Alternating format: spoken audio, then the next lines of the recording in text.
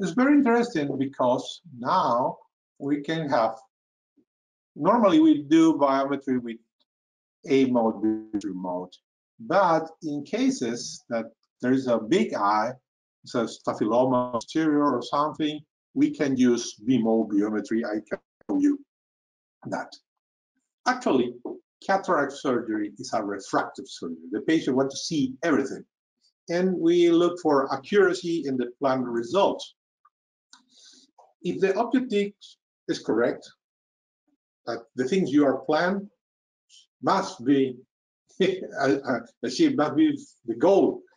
And you need to make a very keratometry, very accurate axial length measurement. You want to know the lens constant. You can you must use the proper formula, and you can of, of course you must do a surgical producer producer very well and the most important thing is to post evaluation of the results. But sometimes this axial length measurement is very difficult in some cases. There are different methods to make the biometry. A mode biometry, you can do automatic manual, contact or immersion. I recommend it immersion always and you can do it B mode biometry. Not everyone makes it. It's very easy. If you can use a B mode for examination, you can use very easy it for biometry. Yeah? This could be a simple immersion, the vector C in the visual lecture, or you can also use current ferrometry, switch porosity, or whatever you want. But it's easy if you have your B diagnostic method is very easy to combine in the biometry. In the A mode, you have the direct the contact. You can immersion, pseudo immersion gel, and you can use the scleral cell as well. There are two immersions, one contact. Try to don't use the direct mode, I mean the contact mode. I will show you why. And you have the immersion with B mode, you can you also have the pseudo immersion gel, or you can also use the sterile shell in order to do the. Uh, if you have the sterile shell, good. If you don't have it, you can use your gel to do it. Be careful because the transducer, when they are sending the ultrasound beam, they have an area that they are disruptive beams that they are very in the middle. And there is a very, very extreme interference zone that in our biometries probes are around 3.3 millimeters that every echo is a transition distance there is an interference if you try to measure in contact the first image that you have is a wrong image. It's an image of interference. Let's see. When you made con when you made the contact method with the A mode, the first echo is this.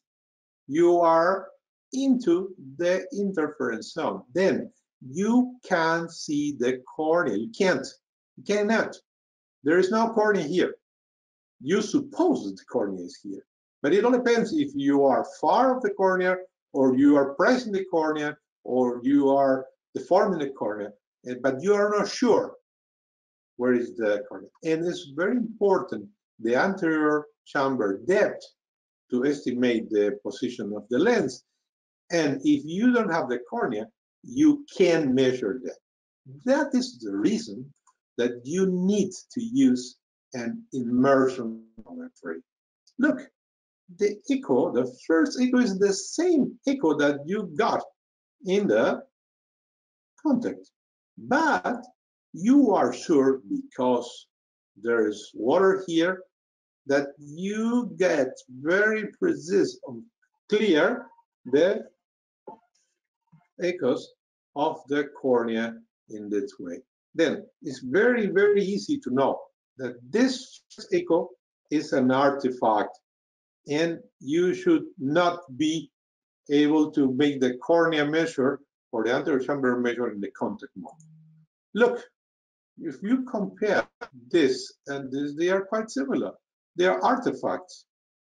And you suppose, in this case, that the cornea is inside. You suppose. In this, in immersion, you are sure that the cornea is right here. And the anterior chamber dip is this. And the lens is this. And the vitreous cavity is this. Then, don't use contact method because you are making a mistake. If you make an error one uh, 0.1 millimeter in emmetropic eyes, you get a refractive surprise. Plus 725 is nothing. But if you make an error one millimeter because you are not sure where is the cornea, you can get a post-refractive surprise 2.5 in a emmetropic eyes. It is worse in hyperopic eyes. If you make an error 0.1, uh, 0.1 millimeter, you get a preoperative, postoperative error of 0.75 or three quarters of diopter. But if you make one millimeter error, you can lead a disaster to 7.5 year diopter postoperative. This is too much. Huh? And it could be caused because you are using not a good method to make the biometry. Also, sometimes with A mode biometry, you are not sure if you are in the macula or if you are in the optic. It's very tricky. You must be able to recognize the echoes to see if you are located in the right place. There are different diameters in the eye, the axial and the medial. And what happens in an, an staphyloma posticum, posterior staphyloma, high myopia? When you make a mode, you are not sure if you're getting this axial length, this axial length, and this one. And you don't know where's the macula. That's the reason you can use very well, very safe, B-mode biometry especially in that saddle shape staphyloma. Look, this is like a saddle. and what is the this is the, the rationale of this B-biometry? It's based on vector C. It's guided by a B-mode horizontal axial scan. There is no limitation in opaque media by optic uh, procedures. And the posterior pole B mode, you can make it simultaneously as if you're doing your, your biometry.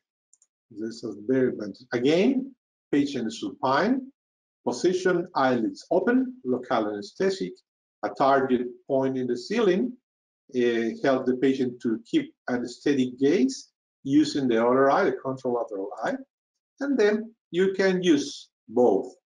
You can be probe using the scleral shell, like I always do, but you can also use direct with a lot of gel. I prefer to do with the scleral shell. For me, it's easy. If you can do on a speculum, you can do it. If you can do gonioscopy, you can do it. If you can touch the eye, this is without any problem. This is if if you can put a speculum in your eye, you can do it without any problem. And look, this is designed to be fixed by the uh, um, by, by, by itself, and you avoid the corneal indentation and also the corneal abrasion. Okay. Marker, the probe is positioned to the right or left. I prefer, this is not my case, but I prefer always to point the center of the cornea in order to obtain an horizontal scan. I try to do it, if I put this uh, this way, I'm, I'm the, the, the, the probe, the temporal part of the eye should be in the part and the and the nasal part of the eye down and the macula should be here what happens? The measure techniques are follow. You must see clearly the anterior and posterior. Look this, if you hear my, my, my arrow, you can see the anterior posterior interfaces. You can see the anterior and posterior lens interfaces. Then you see the optic nerve here. They are the three landmarks for mode biometry. Then that should be aligned with the highest, the more brilliant echoes. Look, these are very brilliant. They are very brilliant also, and an enhanced signal, and that means this is the right place. First, you superimpose C vector over the horizontal axis scan, pointing the optic nerve, and then you move it, uh, the vector C, 10 to 15 degrees or 3 millimeters, 3.5 millimeters in order to go direct to the macula. You localize the macula just when you localize the optic nerve and you know this part is the temporal part of the eye. So easy. And if you have the external rectus insertion, everything is exactly located just to, to look where is the macula in that case. It's very, very easy. And then try to move to be perpendicular. How do you know you are perpendicular? All the surface are very, very high reflective. That means you are doing a perpendicular uh, approach to the eye. Okay, if you make this, huh, every interface face is shown and the mode and the vector mode. And look, you are facing and you're crossing these interfaces in the brightest part. Yeah?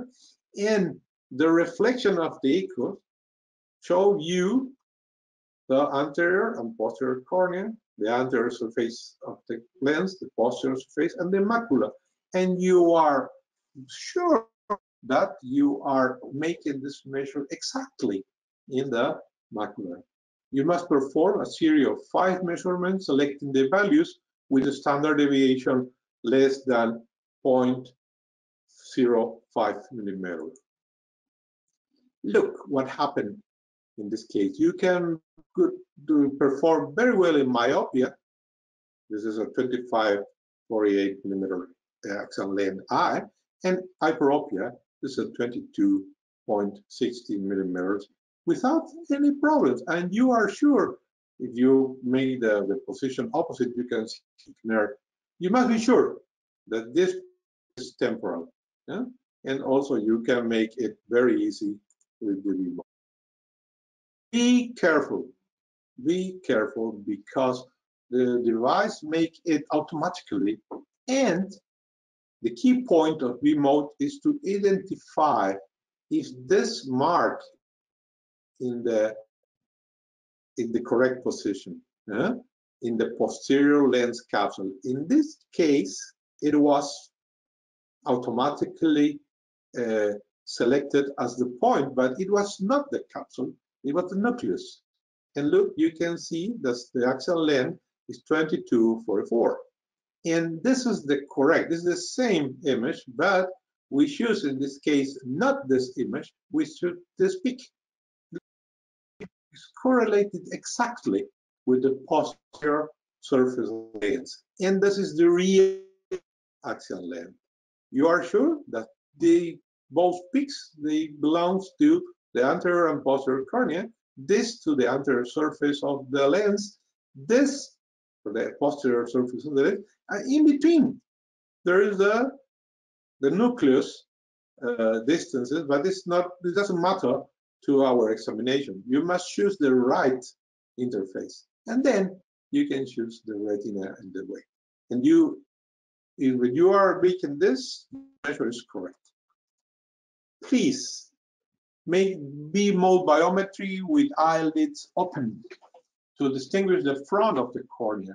If the eyelids are closed, it's not possible to precise identify the cornea, and you are making the same mistake that you make with contact A mode biometry.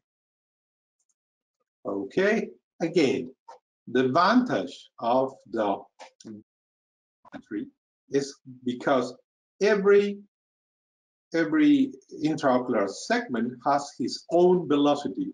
This is aqueous, water. This is crystalline lens, this is protein. And this is vitreous, it's like water. The velocity of ultrasound is different. Then please do not use an average like this. In the first case, the axial length was 2262. We took one here and then an ultrasound speed uh, marked at 1550 meters. This is the, the, the average. Don't use the average. Use this. This is the B mode biometry using four calipers and the ultras, ultrasound speed is independent in every segment of the eye and this is more precise. Okay, let's go. Again, immerse all the reflective, look the optic nerve, look the macula. This is very easy. I encourage make it the next time with gel or with uh, scleral shell. Try to, if you have the Aviso, this is the machine that I have, or the Absolu, this is the new machine also that I have, or the or the um, Compact Touch, you can do it because all those machines they allow you to kind of examination. What happened a very, very myope eye? Look this, this is a video in real time. I move the C vector and I look the optic nerve. It's too near to the optic nerve. I go a little bit down and I be sure it is three millimeters, three, five millimeters, 10 or whatever, and I'm sure that the macula is there. They, they change for B mode to A mode with a bottom. Uh, you have a bottom in the machine. Then I have the cornea, the anterior surface of the lens, this posterior surface, the retina, and the sclera. And I'm sure I'm doing again exactly in the macula my measure. Then I click another button and I get the number of this. This is an eye for 28.51 millimeters axial length.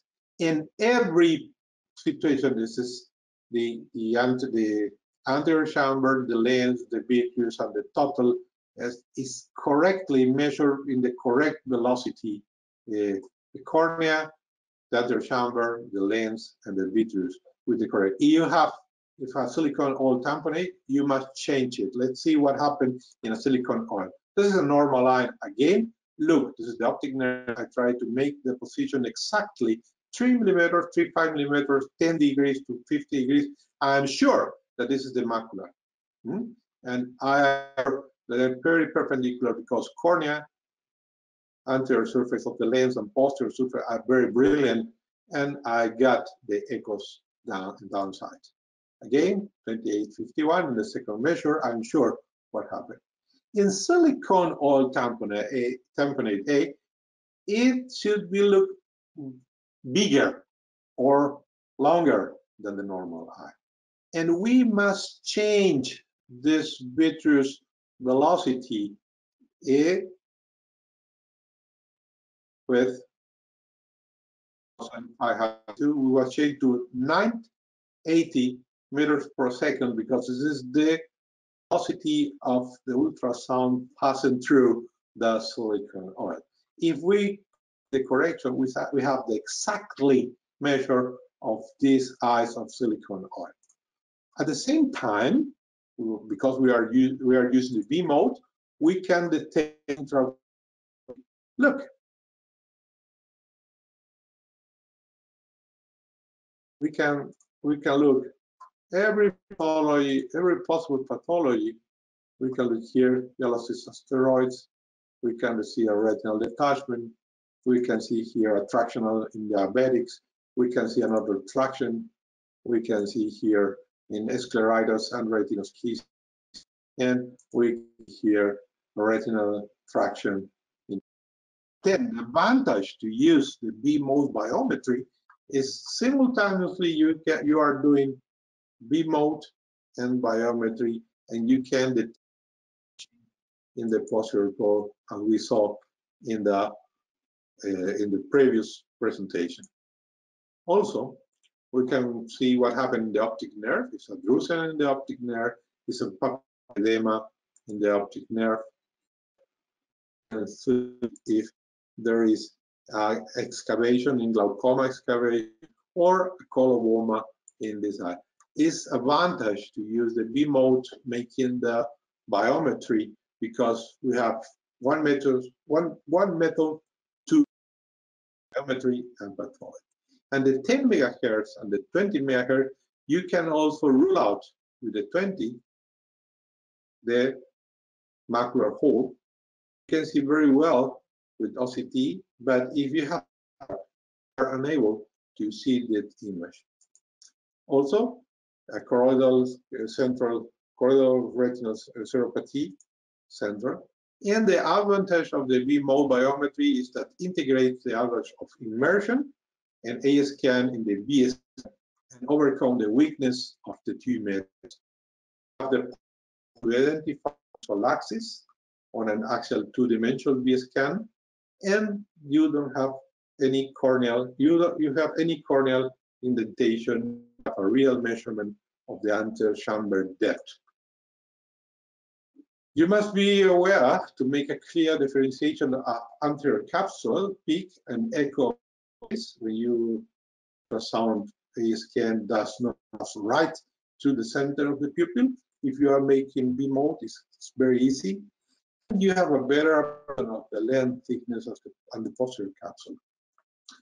The advantage are the evaluation of vitreous retina, especially in dense cataracts, see retinal detachment, vitreous opacities, clear assessment of macular region, especially in age-related macular degeneration. You have a better location of viola in high myope eyes with staphyloma.